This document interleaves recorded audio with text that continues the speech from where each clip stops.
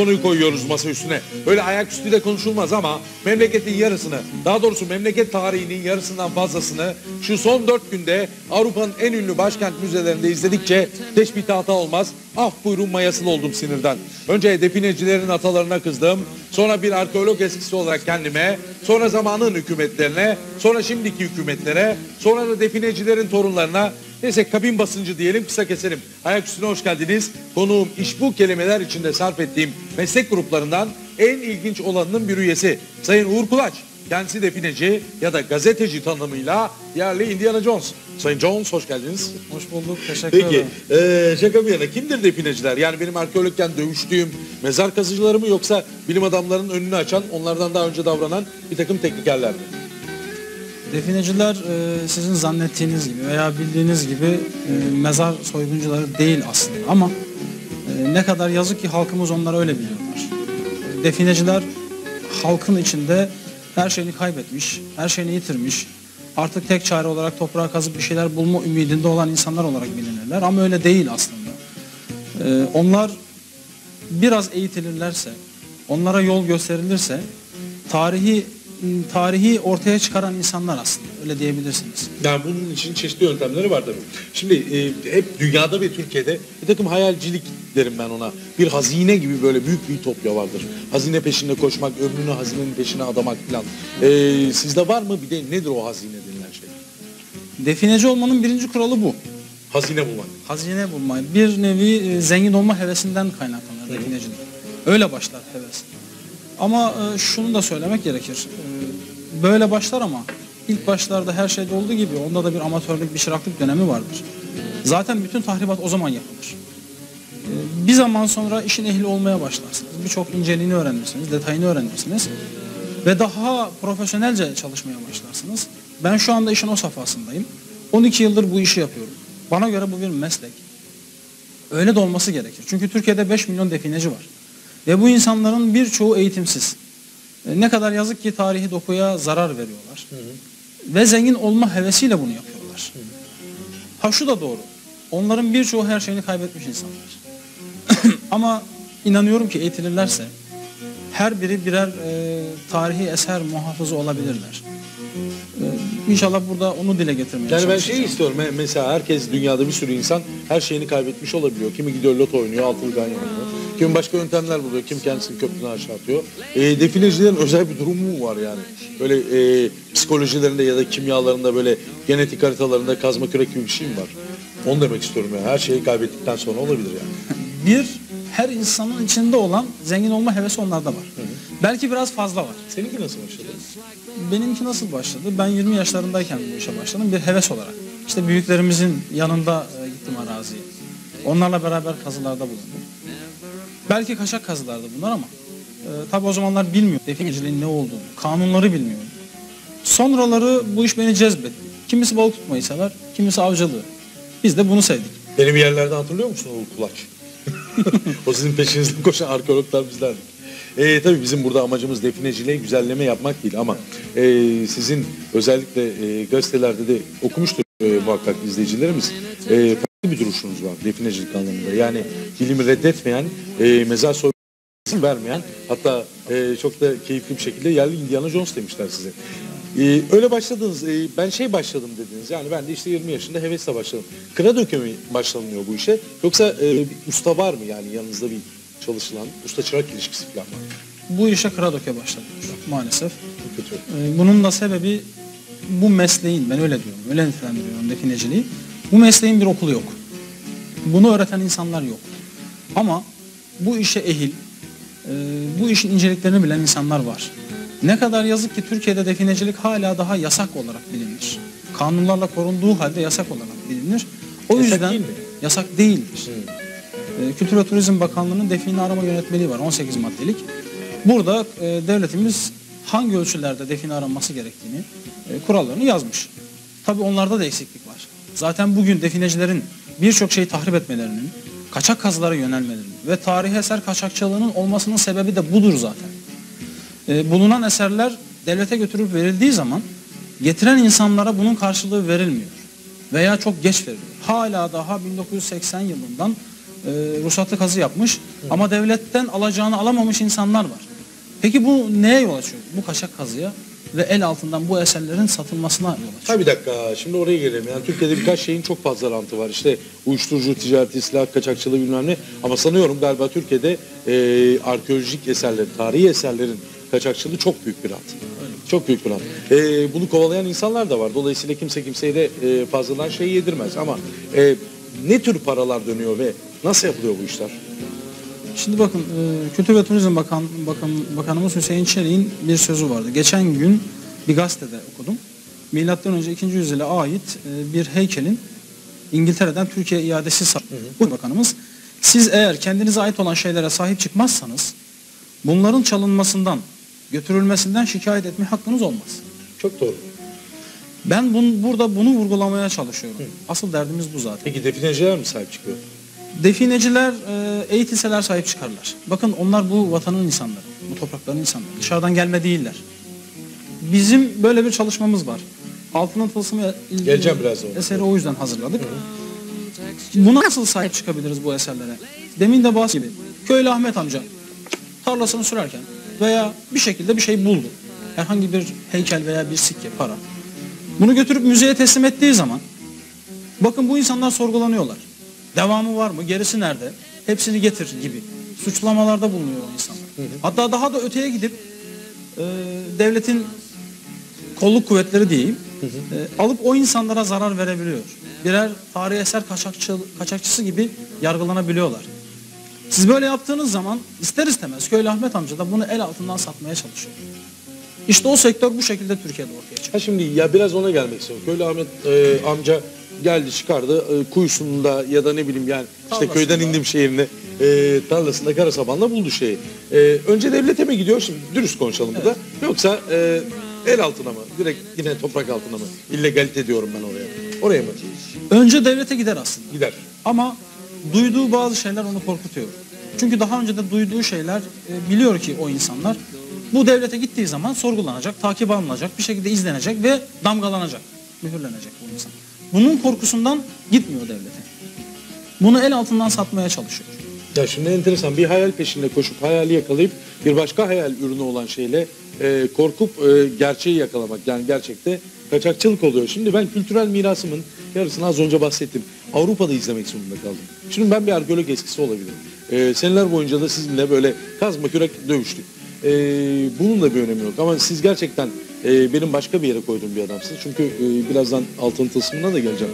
E, işin bilimsel tarafında ve Türkiye'de doğru düzgün yapılmasına da e, çalışıyorsunuz. Şimdi bende bir duygu var. Ben onu orada gördüğümde benim canım sıkkın. Sıkıldı yani. Ya benim Bergama'nın işi ne var orada? Ya da ne bileyim işte Mozelum'un orada ne işi var? E, şimdi soruyorum yani definecilerde bu türden duygular var mı? Ben sizin sorunuza bir soruyla karıştım. Tabii. O zaman ben de size şöyle bir şey sorayım. Siz de bir arkeologsunuz. Peki arkeologlar buna ne kadar sahip çıktılar? Arkeologlar veya müzemiz veya kültür bakanlığımız buna ne kadar sahip çıktı? Şimdi ben gazeteci oldum. Ee, bir kere kafadan ben şey golü yemiş oldum burada. Ama hala var olan arkeologlar, Kültür Bakanlığı vesaire müzeler falan filan var. Yani o zaman insan soruyor. Bir dakika diye soruyor. E, o bir dakikanın gerisini sen getirebilir misiniz? Siz getirebilir misiniz? Bakın e, polisiye tedbirlerle, kısıtlayıcı kanunlarla hiç kimse bunları engelleyemez. Bu kaçakçılığın önüne geçemez. Mümkün değildir böyle bir şey. Bir şeyi yasakladığınız zaman onun cazibesi daha da artacaktır. Biz şöyle bir bizim şöyle bir önerimiz var. Biz diyoruz ki kanunlarda yeniden düzenlemeler yapılsın. E, Kültür ve Turizm Bakanlığı'nın define arama yönetmeliğinde yeniden düzenlemeler yapılsın. Bazı maddeler e, teferruatlı bir şekilde incelensin. Artı müzelerimizde bakın hala daha e, tes- tasnifi, tescili yapılmamış malzemeler var, tarihi eserler var. Bunların tasnifleri ve tescilleri yapılsın. Bunların içinden benzerler, mükerrer olanlar ayrılsınlar. Sağlam olanlar, işe yarar olanlar müzelerimizde sergilensinler. Aynı benzerleri katalog haline getirilip yurt dışındaki koleksiyonerlere bu kataloglar gönderilsin. Ve bunlar müzayedeye davet edilsin. Ve müzayedelerde bu eserler satılsın. Bakın e, kasamıza, devletin kasasına milyon dolarlar girecektir.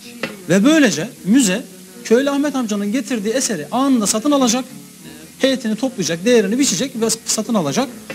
ve böylece bu sektör ortadan kalkacak. En azından illegalitesi ortadan kalkacak. Anladım. Yani o da önemli bir şey. Önemli bir girdinin e, Türkiye kasasına girmesi. Burada sizin de yapacağınız çok güzel şeyler var. Be- Benim yapacağım çok güzel şeyler var. Biraz daha yapacağım onları.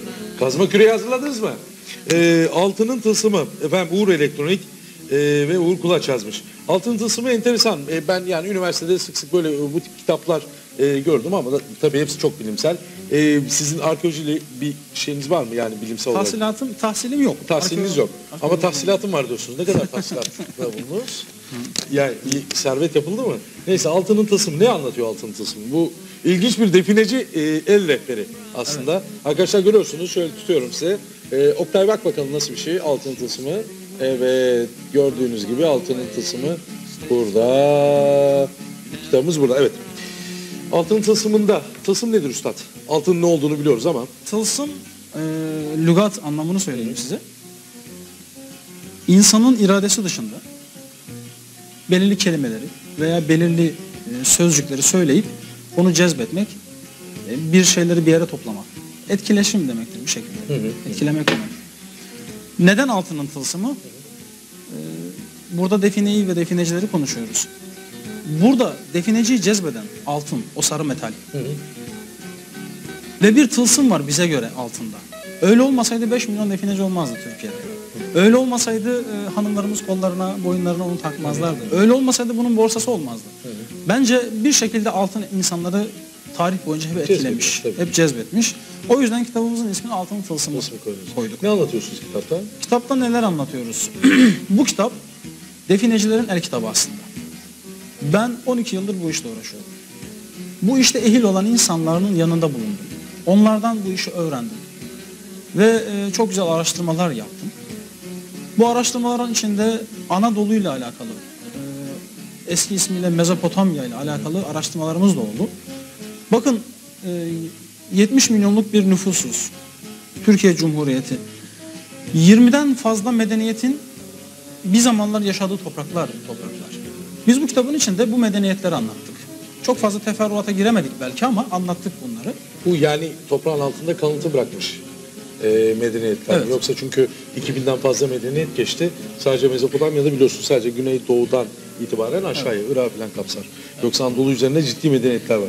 E, senin de indiğin medeniyetler daha çok yani bir definecinin kolay e, ulaşabileceği medeniyetler anladığım Bakın şu- burada şunu şöyle bir düzeltme yapalım isterseniz. Ben kitabımın içinde arkeologlarla definecileri kaynaştırmak istedim. Heh.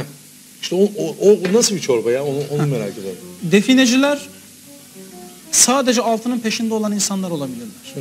Ama eğitilmiş insanlar değil bu insanlar. Ben onlara e, bu topraklarda daha önce yaşamış medeniyetlerin varlığını anlatmaya çalışıyorum. Onlara değer vermeleri gerektiğini, o eserleri tahrip etmemeleri gerektiğini, bir cam parçası dahi olsa, belki kırılmış, bozulmuş, tahrip olmuş ufak bir sikke dahi olsa, onun bir şeyler anlatabileceğini, geçmişten bize bir tabii evet. geçmişten bize bir haber getirebileceğini, e, bir tablet, üzerinde yazı olan bir tabletin belki şu ana kadar çözülememiş sırları çözebileceğini, bunların tahrip edilmemesi gerektiğini anlatıyoruz. Akabinde e, kitabın 130. sayfasına itibaren bakın 160 sayfalık bir kitap 130. sayfaya kadar e, tamamıyla Enformasyon, Anadolu medeniyetlerle alakalı bilgiler var. Ondan sonraki sayfalar definecilerle ilgili. O sayfalarda da defineciliğin ne olduğunu anlatıyoruz, tanımını yapıyoruz. Definenin ne olduğunu anlatıyoruz. Hazinelerden bahsettik. Definede kullanılan işaretlerden bahsettik. Bu da ilginç bir konu. O ilginçtir ya. Evet yani gerçekten çok kafayı takarlar o işler. Evet, definede kullanılan tılsım ve sihirden bahsettik. Bunu belki birçok arkeolog kabul etmeyecektir ama ben bunu kabul ediyorum. Çünkü kendim de arazide birçok şey yaşadım ve yaşayan insanlarla da haşır neşirim. Araziye girmişken hemen sorayım. E, elde kazma kürek böyle mi yapıyorsunuz? Şimdi bakın benim yaptığım kazılarım e, çok saflıydı. İzinlikle. İlk dönemlerde, o çıraklık dönemi diye nitelendirdiğim dönemlerde biraz da cahillikten ve bilmemezlikten. Ona çok pişmanım. E, Çünkü keşke vicdan azabı çektim bir gece e, rüyana şey girdi. Hat düşili girdi. Uğur evladım ne yapıyorsun? E, doğrudur yani öyle bir şey olabilir. Evet. Ve o yüzden biz artık bunun olmasını istemiyoruz. İşaret konusundan bahsettik. Ee, bunun nasıl çözüleceğinden, işaretlerin neden konduğu, ne için konduğundan bahsettik. Kanunlardan bahsettik kitabımızda. Definecilere bunları öğretmeye çalıştık. Ee, yine kitabımızın sonlarına doğru nerede neyi aramaları gerektiğini bunu anlattık. Ee, ön sözümüzde de kitabın ilk ön sözünde de e, definecileri uyardık.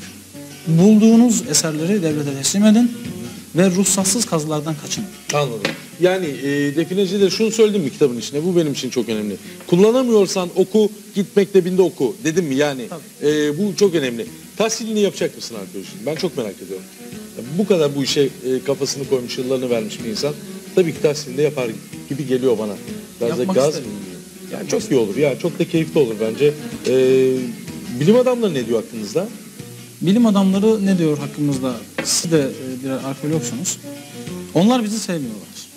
Bizden nefret ediyorlar. Onlara göre biz bu tarihi dokuyu yok ediyoruz. Mahvediyoruz. Bir yere kadar doğru haklılar. Ama bakın onlara da soruyorum. Siz bunun olmaması için ne yaptınız? Bunun önünü almak için ne gibi bir çalışmada bulundunuz? Kanunlarla veya polisi, jandarmayı bu insanların peşine takarak, sit alanlarıyla bunu engelleyemezsiniz. Bakın defineciler öne alınmaz insanlardır. Nasıl ve ne yaparsanız yapın. Onlar bir gece uyurken sizin duvarınızı sökebilirler. Kesinlikle yılmazlar. Belki arkeologlar ödenek ayrılmasını beklerler.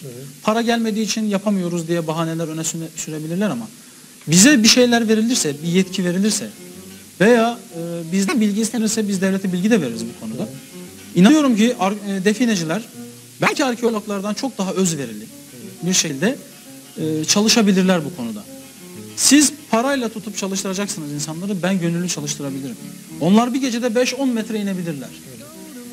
Başında bulunurlarsa eğer arkeologlar bu insanların, tarihi eserleri yıpratmadan, kırmadan, parçalamadan o dokuyu ortaya çıkartabiliriz onlara. Anladım ama defineciler hep yani şimdi e, şeyde ekseninden kaçırmayalım gerçeği. Defineciler para için, arkeologlar da tarih için çalışıyor. Yani e, böyle bir bilimsel duruş var. E, şimdi bunu bir kenara koyarsak bir yandan da e, aklımı karıştıran başka bir şey var. Yani yıllarca kazdın, kazdın, kazdın, kazdın, kazdın. E, yapmışlar mı bir servet inceden? E, Hiçbir şeyimiz yok. Vallahi. Ben toprak altında hiçbir şey bulamadım. Öyle mi? Maalesef hiçbir şey bulamadım. O zaman Bulduğumuzda zaten tes, e, teslim Toprak ettik. üstünde buldun. Güzel orada mantık var. Doğru. Ben ticaret erbabıyım aynı E zamanda. peki neden uğraşıyorsun? Yani e, yani toprak altında bir şey bulamamış insan. O zaman düşünüyor insan yani niye uğraşırsın bu işle? Bulamadım ama e, olduğuna inanıyorum. Çünkü e, definecilerle haşır neşirim işimden dolayı. Sonuçta elektro firmasının sahibiyim. Evet. E, onlarla devamlı hemdem e, haşır neşirim. Geliyorlar gidiyorlar konuşuyoruz sohbet ediyoruz. Anlattıkları şeyleri dinliyoruz. Ve ben inanıyorum ki toprak altında bir şeyler var. Gittiğiniz zaman müzelere bunu görüyorsunuz zaten. Gidin bir arkeoloji müzesine. Maalesef. Çok güzel şeyler var. Birçoğunun resmini de kitabımızın içine koyduk. Ben belki bulamadım. Ha bulsaydım ne yapardım? Bakın ben bulsaydım teslim ederdim. Başıma ne gelirse gelsin hepsini göze alır teslim ederdim. Çünkü ben bu ülkeyi seviyorum. Sizin de demin söylediğiniz gibi dışarıdan artık onları seyretmek istemiyoruz. Onlar benim müzemde sergilensin. Benim insanlarım gitsinler tarihlerini görsünler. Ve yurt dışından müthiş bir turist akını olur böylece bu ülkeye. Bakın hala daha açılmamış yeraltı şehirlerimiz var. Yüzde yüz ya. Hala daha açılmamış timülüslerimiz, höyüklerimiz var. 60 bin büyük var şu anda. Evet. Açılmamış. Ee, ben iyi niyete inanıyorum. Ee, peki yani e, sen iyi niyetlisin ama yani herkes de senin gibi iyi niyetli değil. Şimdi Doğru. e, bunu da dürüst konuşmak lazım. E, Türkiye'yi tarih çöplüğüne çeviren e, cahil meslektaşlarına önerilerim var mı? O çok önemli. Şimdi ben burada her ne kadar bir ticaret erbabı olarak da bulunsam da ben defineciyim. Aslında inkar etmiyorum. Definede çok şey öğrendim. Sadece tarihi değil, e, altının sırrını, e, tılsımını değil. Ben bir şekilde adamlığı da öğrendim definecilikte. Onlar arasında çok güzel bir kaynaşma vardır. Çok güzel bir paylaşım vardır. Tabii altını bölüşüyorlar. Ama bir o kadar da kavga ve gürültü vardır. E tabii yine bölüşüyorlar. Bu bölüşümden dolayı hep dinleriz e, bu hikayeleri. Kardeş kardeşi vurur. E, baba oğlu vurur. Bunlar da doğrudur. Bu hikayelerin birçok aslı doğrudur aslında. Ama bakın yine vurguluyorum. Bu insanlar eğitilirse, bunlara bir şeyler öğretilirse, inanın her biri birer muhafız olurlar bu eserleri beklemek için. Yani bu kadar emin konuşuyorsun Eminim defineciler bundan. hakkında. Bundan E tabii yani yıllarını... Çünkü onların yapısını ve ruhlarını biliyorum. Yani yıllarını vermişsin, e, içindesin, insanlarla aşırı neşesin. Peki biraz da işin geyiğini yapalım. Yani e, yatırı var, satırı var. Hiç tırsmıyor musunuz ya kazarken? Yani tırsan oluyor mu? Şimdi eee, size bir şey anlatmak istiyorum. Tılsım meselesi şöyle bir tanım yapalım isterseniz tılsımla ilgili. Bir defineci ağzıyla bir tılsım şey Tabii ki. tarih e, tanım yapalım. Tabii. Tılsım bir hazinenin, bir definenin muhafızlığı için, bekletilmesi, korunması için oraya davet edilen bize göre cinlerdir. Nasıl yapılır? Belirli kelimeleri belirli sayıda ve belirli zamanlarda tekrarlayarak cinlerden bir grup oraya davet edilir. Rahmemiş Hoca'nın alanına girer. Evet. Ona da bu konuyu sorabilirsiniz. Ee, ve bu davet sonucunda cinler buraya hapsedilmiş. Biliyorsunuz önceden in- insanlar bir şekilde paralarını saklamak zorundaydılar. Ve bu paralar toprakta saklandı. En iyi muhafaza yöntemi buydu. Sadece toprağa gömüp taşın içine koyup gitmek değildi saklamak. Bir şekilde onun ileride de geri gelinip almak için koydukları için korunması gerekiyor. İşte tılsım burada devreye girer. Bir de sahiplenme var. Bir dakika şimdi cinler var orada. Cinler e, bu e, çıkardığınız malı bölüşmede bir sıkıntı yaratmıyor mu? Hani bize hani bize gibilerinden. Biz şuna inanırız. Kaza esnasında e, kaza esnasında zaten problem başlar, sorunlar başlar. Nasıl sorunlar başlar? Çarpılırız ağzımız yamulur bir şey olur. Da öyle de diyebilirsiniz. Hadi ya. Ama tam olarak öyle değil. Bakın cinler e, enerji yaratıkları. Onlar gözle görülmezler normalde. Bin tane insanın içinden bir tanesi görebilirler. E, kaza esnasında size halüsinasyonlar gösterirler. Aslında orada gördüğünüz her şey birer görüntüdür. Ama o insan onu gerçek olarak algılar ve bir şekilde etkilenir. Tılsım bu. Ha zarar gören insanları tanıyorum. Bakın gerçekten zarar gören insanları tanıyorum bu konuda. Bir de herhangi bir mağara veya bir kuyu açıldığında orada yıllarca duran metalin e, meydana getirdiği bir gaz var. Bu gazla direkt temasa geçen ilk giren insan e, ister istemez halüsinasyonları Evet, görüyor. tabii. Bunu da tılsım gibi da bilimsel. algılayan defineciler de var. Peki bir şey soracağım. Siz de haritaları böyle dörde bölüyor musunuz? Ee, dört kişide dört ayrı parça. Sonra parçadan bütüne doğru gidiliyor e, ve haritanın yeri bulunuyor. İşte harita geliyor efendim. Şimdi Durun bakalım. Bir tane harita örneği var mı mesela? kısaca size e, bir şey bahsedeyim, bir şeyden bahsedeyim. Tabii. İki türlü arama yöntemi vardır. Buyurun. Definecilikte bu kuraldır. Bir, e, rivayet dediğimiz kulaktan duyma yöntem. Yüzde doksan İşte benim dedem demişti burada bir şeyler var. Ee, böyle bir yöntem var. Rivayet bu. Bir de işaret yöntemi var. Biz buna kayıt da diyoruz. Bakın defineciler de ikiye ayrılıyor. Birinci grup varlıklı ve zengin insanlar. Bunlar e, ellerinde kayıtlar ve haritalar olan insanlar. Bu insanlar araziyi satın alırlar. Ve arazideki o parayı, o hazine, o defineyi çıkarırlar. Kimisi oraya bir işletme, bir fabrika kurar, kimisi çeker gider. İkinci grup defineciler de ki onlar biziz. Biz Kurtuluş Savaşı sırasında bu ülkede bizle beraber yaşayan ama sonra e, burayı terk etmek zorunda kalan gayrimüslimlerin paralarını ararız. Evet. Yani böyle işaretlerle falan arıyorsunuz. Nasıl bırakılır bu işaretler veya nasıl bırakılmış ondan da bahsedelim. Sonra bu işaretleri size açıklayacağım ne olduklarını. Bakın savaş esnasında kaçmak zorunda kalan insanlar yanlarında sadece götürebildikleri değerli eşyalarını götürdüler.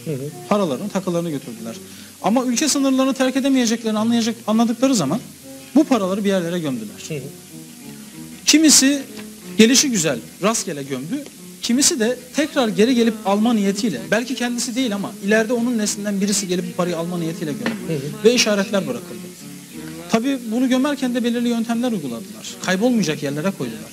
Meyve ağaçlarının diplerine, mağaralara, su kenarlarına, çeşme kenarlarına. Toparlayacaksak toparlayalım çünkü hiç vaktimiz kalmadı. Hı hı. Bakın e, belirli işaretler bırakmış bu insanlar. O işaretler ne oldu benim? O işaretler zaten şey definecilik dersine girecek. Son olarak şunu söylüyorum. Tabii ki eee efendim Uğur Bey'e ulaşmak için önce eee, bir telefon numaranız var mı? Var. Onu hemen bir söyleyelim. E, 0216 0216 310 310 95 77 95 77 310 95 77 buradan Uğur Kulaç'a e, ulaşıyorsunuz çünkü geri kalanı burada definecilik dersine giriyor. Ben e, onu istemiyorum. Altın tasımını okudum. İyi bir çalışmaydı. Definecinin el kitabı çalışmasıydı. Uğur Kulaç e, teşekkür ediyorum. Yerli Indiana Jones olarak da iyi niyetli olduğunuzu düşünüyorum. E, zannediyorum ve bu zannımda umarım beni yanıltmazsınız. Umarım arkeoloji camiasını yanıltmazsınız ama e, arkeoloji camiasını da ilettiğiniz mesajlar bence doğru mesajlardı. Artık e, birilerinin bir şeylere el atması gerekiyor. Özellikle Kültür Bakanlığı'nın e, bizim dışarıda izlememiz için e, bazı gerçekleri. Çok teşekkür ederim geldiğiniz için. Biz de inşallah ileride e, şöyle yarı nasıl?